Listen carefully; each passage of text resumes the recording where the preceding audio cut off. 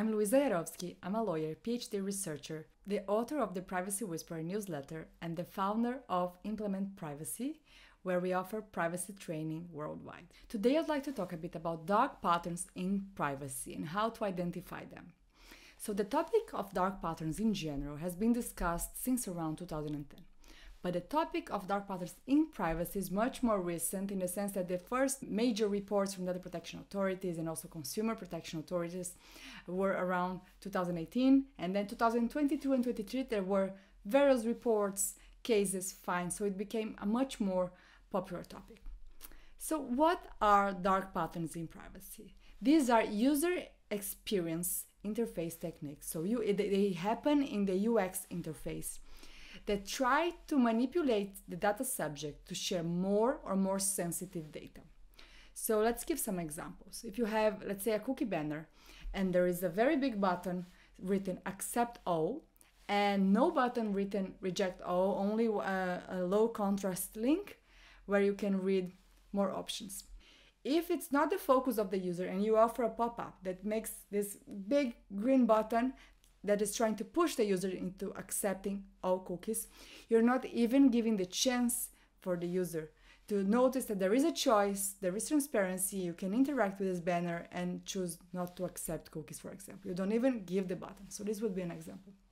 Or if you, when you're asking the user consent and you use the ambiguous language or double negatives, anything that might confuse the user, this would be an also another example of dark pattern or when you have a privacy settings menu that is very complicated.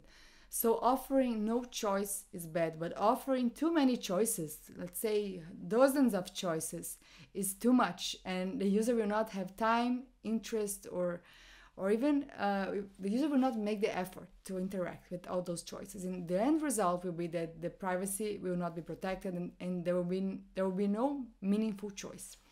In 2021, I wrote an article talking about dark patterns in personal data collection, and I developed a taxonomy. So, to map all those types of dark patterns that happen in the context of privacy.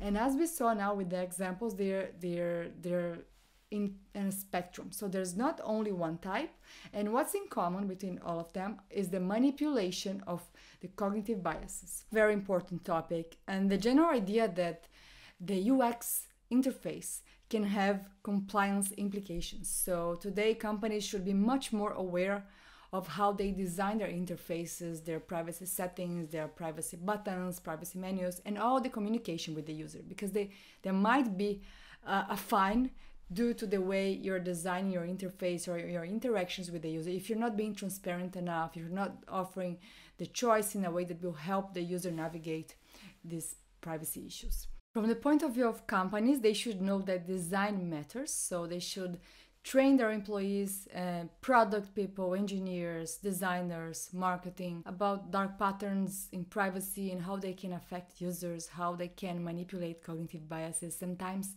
even if the company is not being malicious, it can happen. And from the point of view of users, all of us, it's also important to learn the types of cognitive biases that can be affected, how companies try to trick us into sharing more or more sensitive data. So there's a lot of material at the Privacy Whisperer my newsletter. You can read more there about dark patterns in privacy. Also, various uh, academic research uh, articles you can find online on dark patterns as well. And information and awareness, of course, super important. But I think the main the responsibility is for of companies. So companies should be really aware and trying to be proactive trying to prevent dark patterns in privacy before they happen. So companies they have the responsibility uh, of protecting users. That's it. I hope this was an interesting lightning talk. And thank you so much for the organizers of the Global Privacy Assembly.